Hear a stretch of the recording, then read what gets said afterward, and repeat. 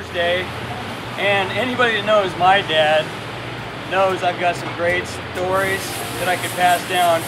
Uh, for me, Father's Day reminds me of things my dad did to me. Oh, like taking me to see The Exorcist when I was eight years old and scarring me for life. I slept with a light on in my bedroom, Dad, for 10 years. Thank you for that. My dad, this is my dad. My dad would take us to the movie theater, me and my friends. And he would get us in our seats and then he would disappear, go get popcorn. He would come back with two large popcorns. I soon found out why.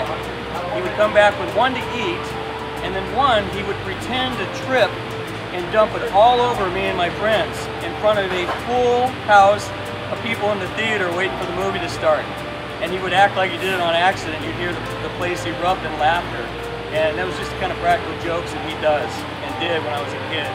And uh, I find myself doing stupid dad stuff like that all the time.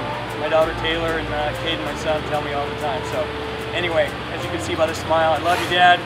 Uh, great stories. Uh, many more to come, I hope. Happy Father's Day. My uh, one life lesson that my dad has always taught me was to like work hard never take one day for granted. That you only get out of each and every day of what you put in. And if you do that every day of your life, when you look back one day, you sit down and rest and look back at what you accomplished, you will accomplish unbelievable things that you never thought that could even happen. And it has. It's already came to fruition, and I'm still putting that work in each and every day know, my dad always taught me there's more to driving the race car than driving the car.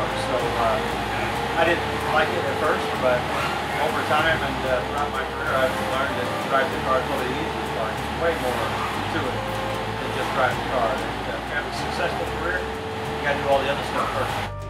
So my brother and I wanted uh, guitars for Christmas one year, and we come out in the morning and there's a lawnmower sitting there in a box that my dad thought would be a great Christmas present, and I thought he was hot.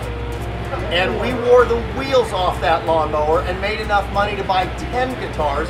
And I think it was a great lesson. If you want something, you work for it and you'll appreciate it more. You know, favorite life lesson my father taught me is that people are so important. You can't replace your people. Um, that, that really drives home. He has over 970 employees, you know, and a bunch of companies, like 30, uh, almost 42 companies now, you know. Um, but it's the people that got him there to where he's at today. And, uh, you know, you got to always remember that no matter how well you do in life, So I guess I'd say a life lesson that my dad has taught me is that hard work, dedication, and focus will prepare you to never fail. I just want to say happy Father's Day to all of the fathers out there.